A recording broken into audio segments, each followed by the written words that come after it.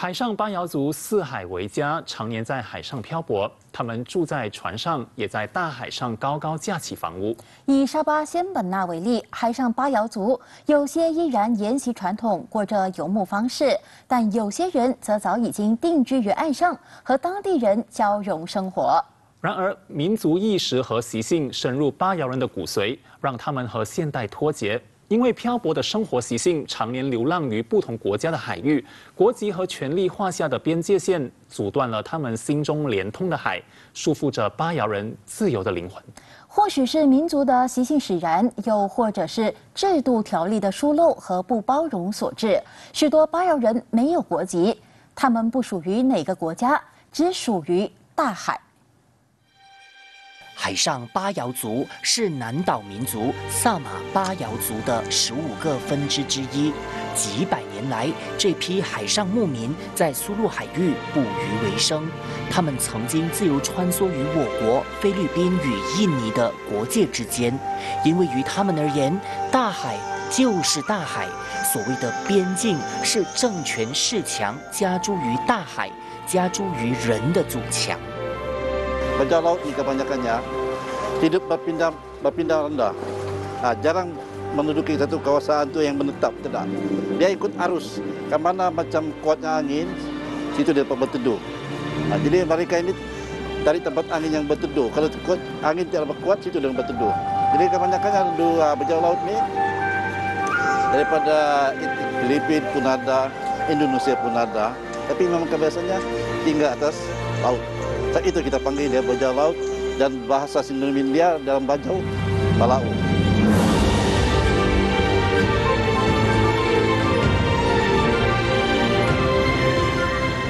他们没有国籍，世世代代都在海洋上生存繁衍。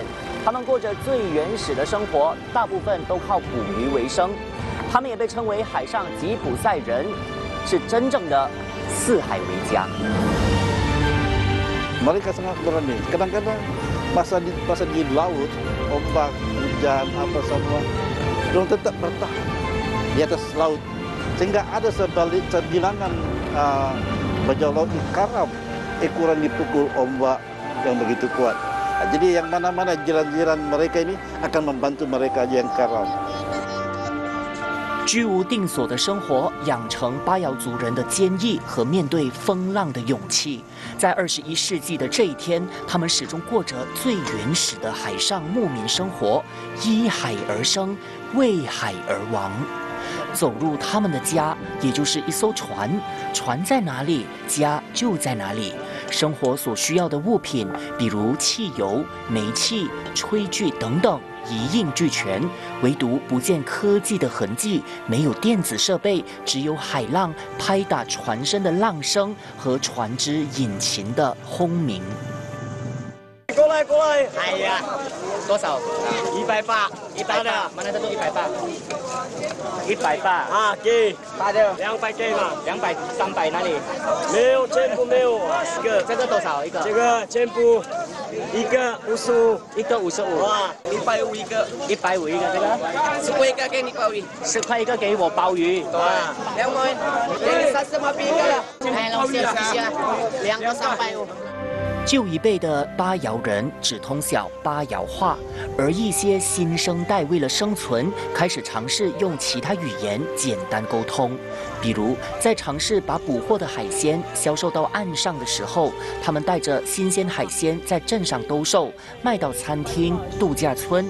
但更常见的就是直接和游客来个博弈，卖一个好价钱，换得一家大小当日的丰盛一餐。Daripada kerang-kerangan, ikan. Jadi dia yang dapat hasil dapat pergi tanah besar. Dulu mereka ini berjauh laut ni bila mereka dapat apa ini uh, dapat tangkapan daripada laut dia sistem pertukaran tukar dengan ubi kayu ataupun dengan pakaian tapi sekarang tidak sudah dia sudah gunakan duit tapi untuk kerajinan mereka memang cukup rajin untuk bekerja mendapatkan 除了住在海上木屋或船屋，一些巴瑶人逐渐移居马布岛，定居在甘崩萨马日拉沃部分沿海地带，开始在陆地上扎根生存。从海上移居到岛上的番西，一边造着船，一边诉说着生活的艰难。番西靠着捕鱼和卖鱼，一天最多只能赚取二十令吉的微薄收入。他们的日常依然使用木材生火，一家最常吃的是木薯和鱼。Biasanya awal pagi buat apa? Lepas bangun.